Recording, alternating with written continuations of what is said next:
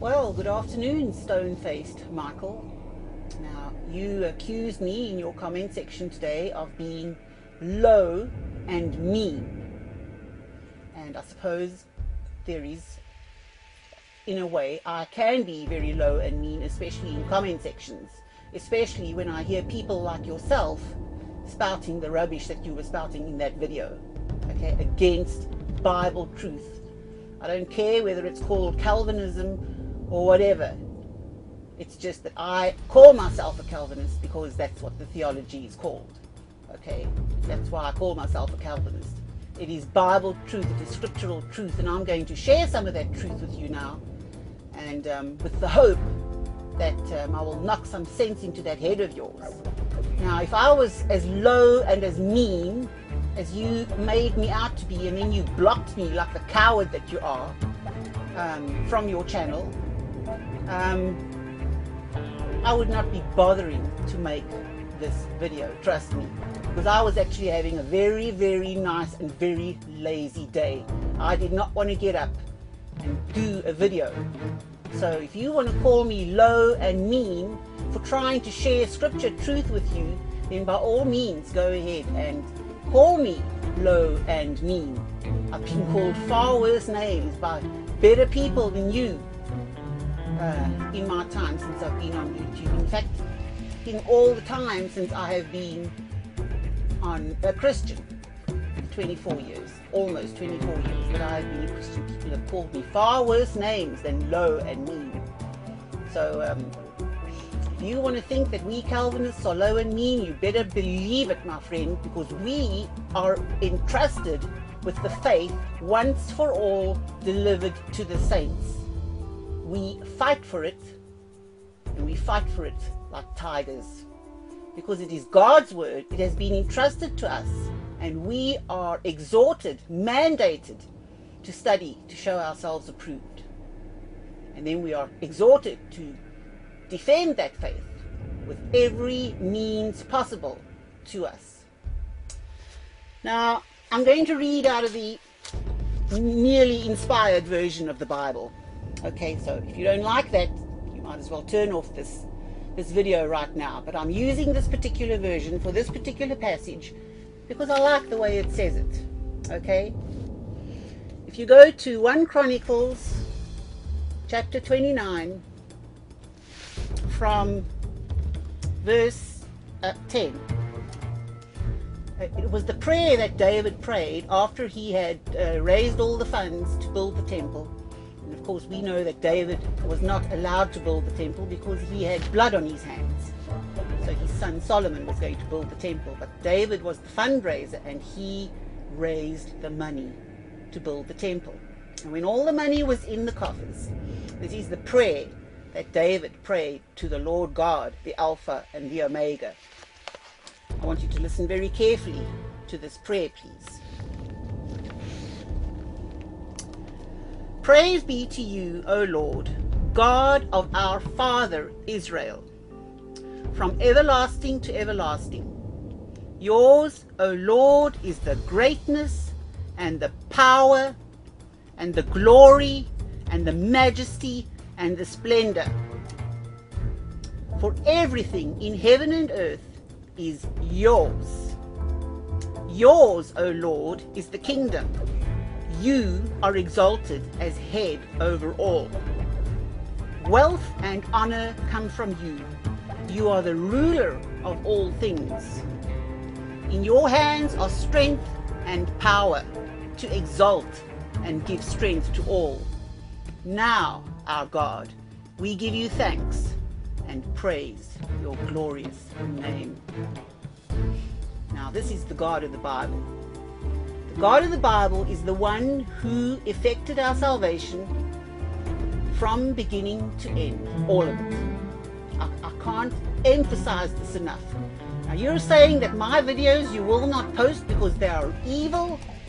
I defy you to pick those videos apart and tell me what scriptures are out of context in those videos. But you will not post them. You see, this is what I get with you people. You, def- you deny scripture. You deny vast swathes of scripture. I mean, you sit there with your little stone face and you pick us to pieces? You pick the Calvinists to pieces? I want to tell you something. We do not have stone faces, looks on our faces, the Calvinists.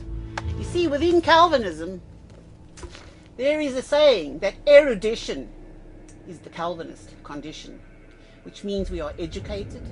We have educated ourselves. We have taken the time to study, to show ourselves approved.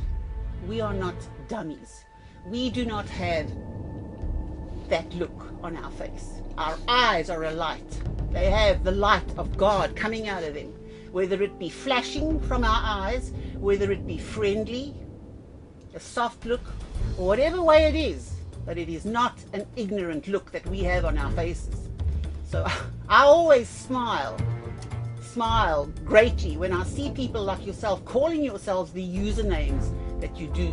Stone faced Michael. There are others. Wells without water. There's a user with that name. Whitewashed sepulchres, whitewashed tombs, clouds without rain. Why do you call yourselves these names? I don't understand that. I, I don't understand that. So if you want to make yourselves out to be stupid, by all means, go ahead, because it seems to me that anybody outside of Calvinism is not erudite. Okay, then I get told by people that I make them look stupid or feel stupid. Here's my retort. My retort is go and learn something. And then maybe you won't feel so stupid. Okay, now I want to read another scripture to you, and eventually I'm going to end off this um, this uh, video, and I'm going to read through Romans 8. But I'd like to speak to you about what power the Word of God has. I think it's Psalm 138, verse 2, uh, which says that uh, God magnifies His word above His very name. He magnifies that word above His very name. Now, I'm going to read to you from Isaiah 55, starting at verse um, 6. And this is what the Lord God has to say to us who are called by his name. Now, if you are called by his name, truly called by his name, I pray that he will open your eyes and illumine you to what I'm going to read to you now.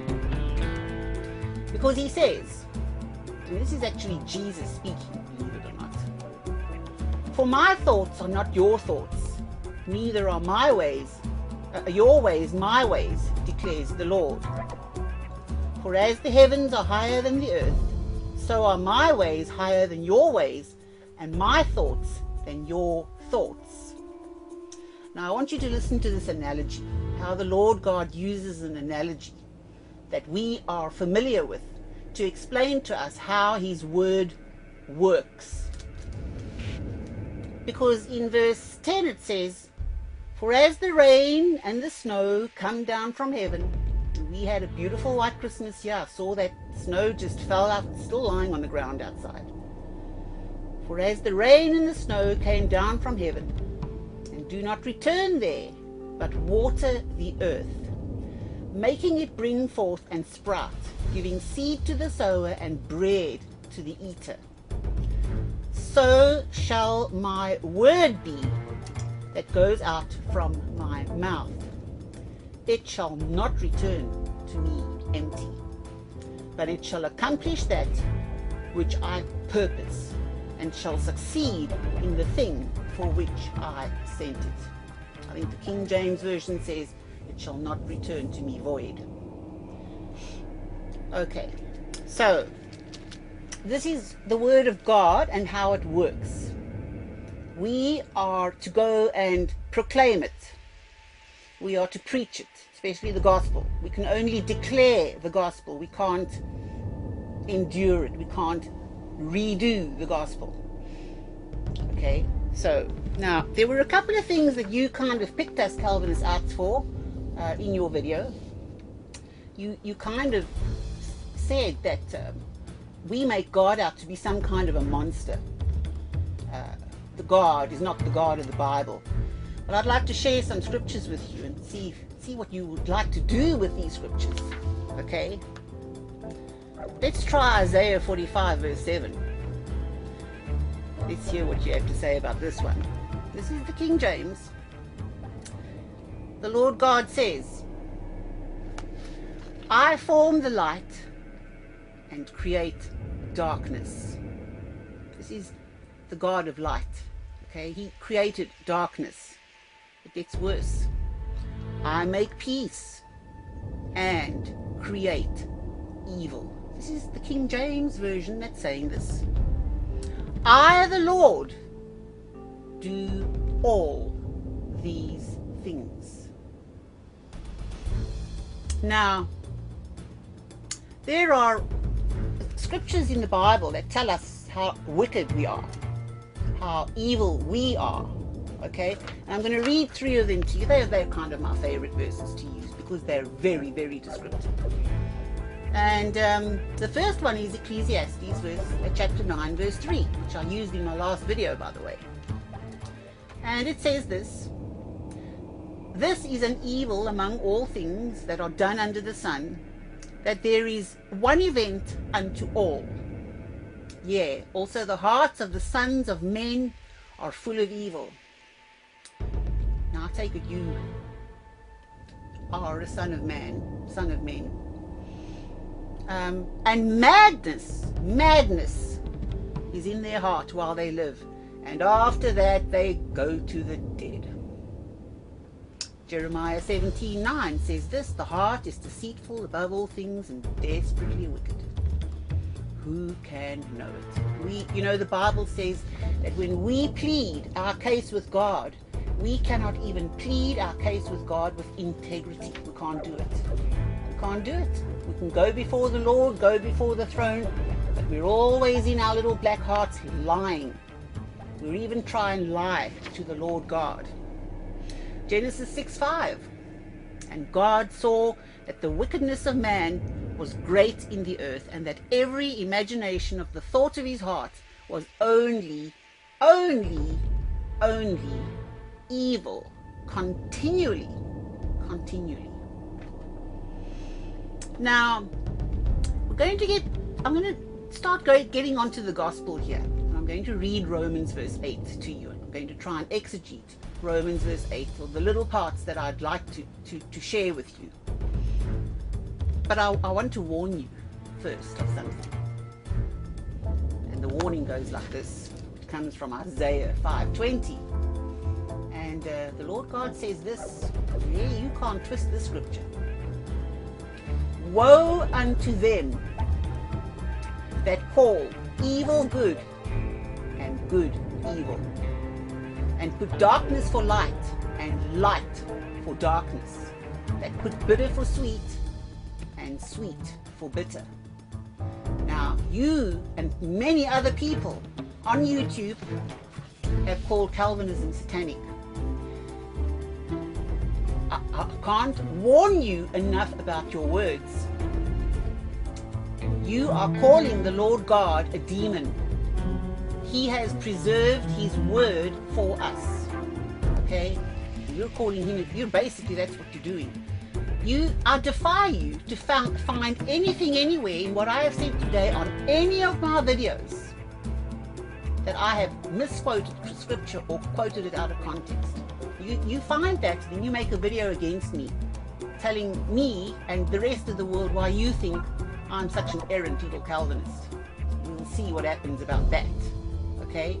Now I'm going to go to Romans chapter 8 and I'm going to read to you Romans chapter 8.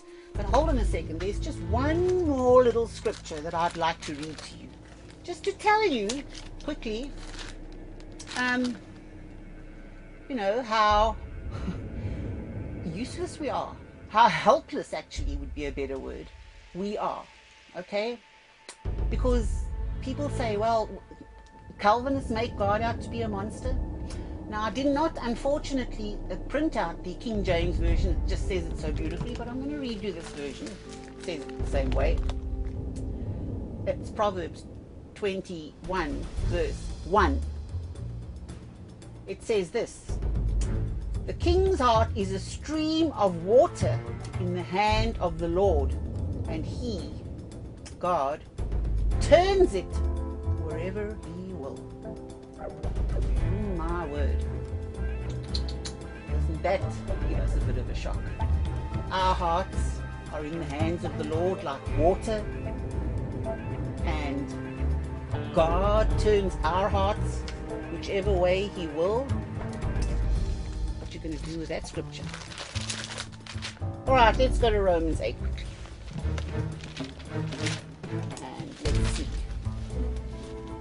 Preach the gospel to you out of Romans verse 8. Because there is such a thing as law and such a thing as gospel. You need to be able to distinguish between the two. Otherwise, you're never going to understand the doctrine of justification by faith alone. It seems to me that every time I teach on a doctrine on YouTube, a spate of videos comes out against it. Like just recently, I was teaching on the sovereignty of God, and there's a spate of videos coming out against the sovereignty of God by the most unlikely people. Now I'm teaching on justification by faith alone, and there's videos being made against this doctrine. This is the doctrine around which the entire Protestant Reformation hinged, was the just doctrine of justification by faith alone. All right. Let's start with Romans 8, verse 1. For those who are in Christ, okay, those who have been chosen, elected before the foundation of the world, according to Ephesians chapter 1, verse 14. He, God, chose us, the elect, in Christ before the foundation of the world. What are you going to do with that scripture? You're going to ignore it? Okay, let's go through Romans 8 quickly and just shock your little brain to life quickly here. There is now no condemnation for those who are in Christ Jesus. None. No condemnation. Ever. Again. You're uh, not an eternal security person. You believe that the Lord God is not able or capable of um, keeping his people. You're, you're guilty of blasphemy against the Lord God. You're making him out to be a liar, and the truth is not in you, Michael. Okay? For the law of the Spirit of life has set you free in Christ Jesus from the law of sin and death. What, do you get set free and then get put into bondage again? Because that's what you're teaching. For God has done what the law weakened by the flesh could not do. God did it. Take note, God is the one. He has done it. By sending his own Son in the likeness of sinful flesh. And for sin, he condemned sin in the flesh, in order that the righteous requirement of the law might be fulfilled in us, who walk not according to the flesh, but according to the Spirit. For, the, for those who live according to the flesh set their minds on the things of the flesh, but those who live according to the Spirit set their minds on the things of the Spirit. To set the mind on the flesh is death. You see, they can't be talking about non uh, uh, Christians here, because Christians are not subject to death, not spiritual death anyway. If you're going to say that, you're going to contradict verse one here. Okay, so we're they're talking about the reprobate, the unsaved, the lost. Um, is death, but to set the mind on the spirit is life and peace. For the mind that is set on the flesh is hostile to God, for it does not submit to God's law. You see, we don't submit to God's law, we submit to the gospel. We believe the gospel. We who are in Christ, we believe it. Um, indeed, it cannot. Those who are in the flesh cannot please God. Do you know that there is a verse, I think it's in Jeremiah, which says that um, the wicked can do nothing to please God. Even their plowing, even their uh, their um, attempts to uh, support their families, it's sin and wickedness in the eyes of God because they have not put Him first. Okay. You, however, this is verse 9, are not in the flesh, talking to us now, but in the Spirit. If in fact the Spirit of God dwells in you. He's asking you a question, you see. Are you sure? Do you know that the Spirit of God dwells in you? How do you know that? How do you know that? Anyone who does not have the Spirit of Christ does not belong to Christ. But if Christ is in you, although the body is dead because of sin, Spirit is life because of righteousness. If the Spirit of Him who raised Christ Jesus from the dead dwells in you, He who raised Christ Jesus from the dead will also give life to your mortal bodies through the Spirit who dwells in you. So then, brothers, we are debtors, not to the flesh, to live according to the flesh. For if you live according to the flesh, you will die. But if, the, uh, but if by the Spirit put to death the, uh, the deeds of the body, you will live. For all who are led by the Spirit of God are sons of God. For you did not receive the spirit of slavery to fall back into fear a lot of people use that, those words there to say that we can fall back into what? Uh, fall back into a lost state. doesn't say that. Says fear. Christians can fear too. But the Bible says the mind that he stayed on God, he will keep in perfect peace. But of course, we, we can't do that. And then it goes on to say, But you have received the spirit of adoption as sons, by whom we cry, Abba, Father. The Spirit Himself, listen to this very carefully, okay? The Spirit within you, the Holy Spirit within you, who came along and quickened you to life so that you were able to believe that gospel.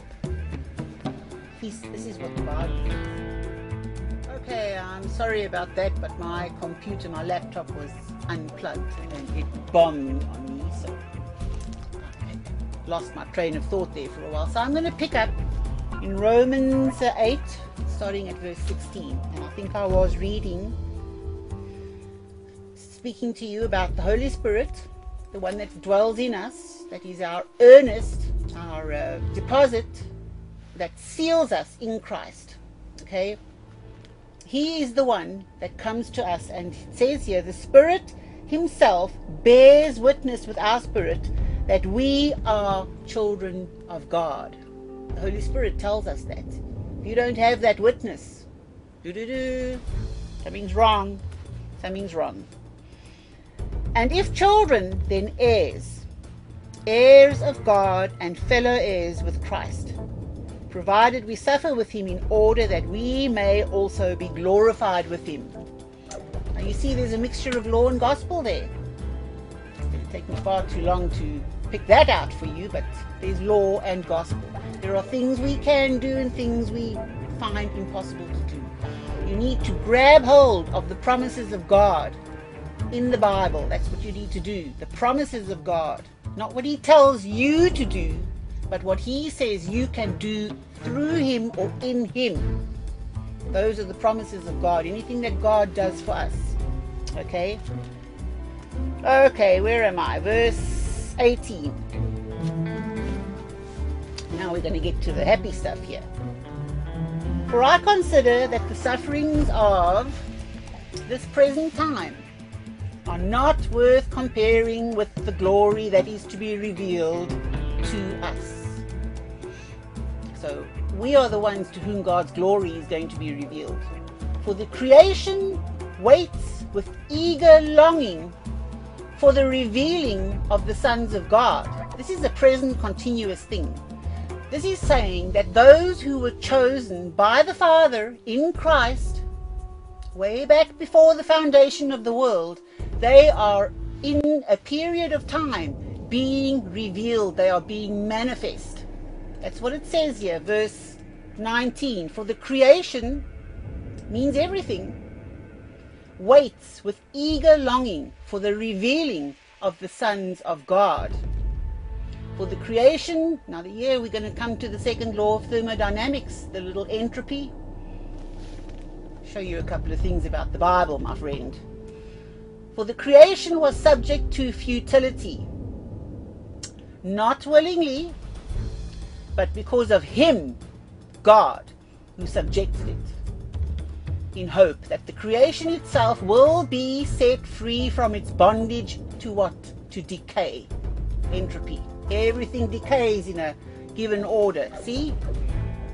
And obtains the freedom of the glory of the children of God. And of course, that little uh, scripture there puts an end to this nonsensical uh, old earth creationism. Old earth creationism. The Bible does not teach that. Does not teach that in Genesis, and it certainly doesn't teach it here. Okay. Verse 22 For we know that the whole creation has been groaning together in the pains of childbirth until now. And not only the creation, but we ourselves who have the first fruits of the Spirit groan inwardly as we wait eagerly for the adoption as sons, the redemption of our bodies. That's future thing. That's what the resurrection was about. If there was no resurrection, we would have no hope. We would be serving a dead Savior. And actually, the Bible says that if Christ did not rise from the dead, we of all people are to be most pitied. For in this hope we were saved. Now, hope that is seen is not hope. For who hopes for what he sees? But if we hope for what we do not see, we wait for it with patience. Likewise, the Spirit helps us in our weakness. You see, it's God, God, God, God, God, God doing it all for us. See? Likewise, the Spirit helps us in our weakness, for we do not know what to pray for as we ought. But the Spirit Himself intercedes for us with groanings too deep for words. See, God, God, God, God, God, the Spirit, Spirit, Spirit, Spirit, Spirit. See, they're doing it all. God's doing it all. Praying for us. Jesus prayed for us in John 17. And then it goes on to say, and he who searches hearts knows what is the mind of the Spirit. God's Spirit. Okay, because the Spirit intercedes for the saints according to what? The will of God. Not according to our will. We're not free. We don't have free will. Where do you read that in the Bible? You show me one verse that teaches free will in the Bible. We have not free will. It says here, the Spirit intercedes for the saints according to the will of God. Remember Proverbs 21 1? The heart of the kings is in the hand of God like water, and He turns our hearts. Okay, and we know that those who love God, uh, all things work together for good, for those who are called according to His purpose. For those whom He foreknew, I got to just explain this again. Foreknew, foreknow does not mean that God looked down the ethereal corridors of time, took a look around and saw, oh, these are the ones that are going to believe on me. Mm, I think I'll choose them. Mm-mm-mm-mm. No, no, that's not what that word means at all. It means that God knew them before the foundation of the world. It means He chose them without merit.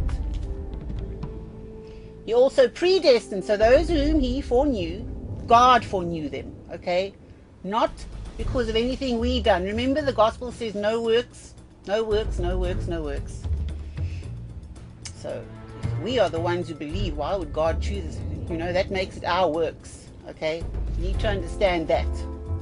To be conformed to the image of his son in order that we might be the firstborn among many brothers.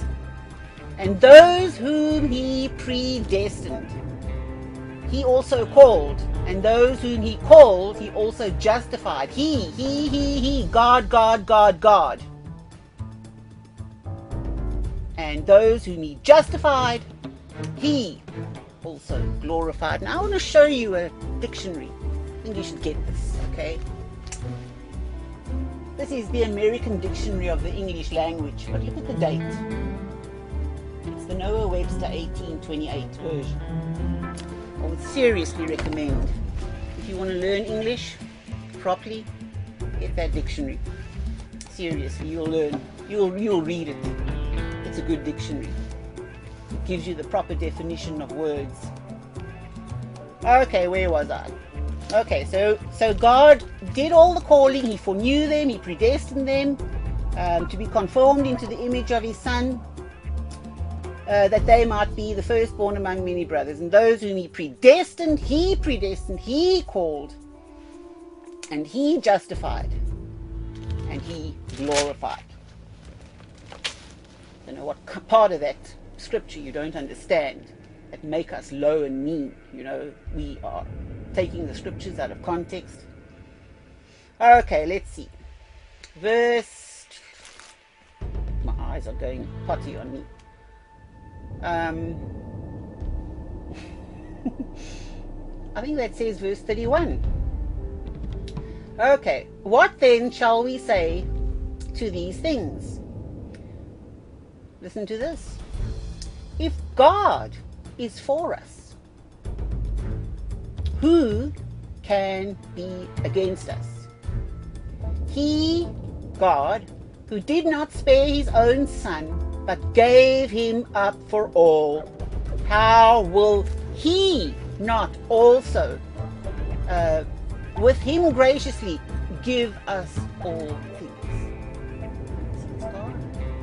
God does it all. He gives us all things, everything.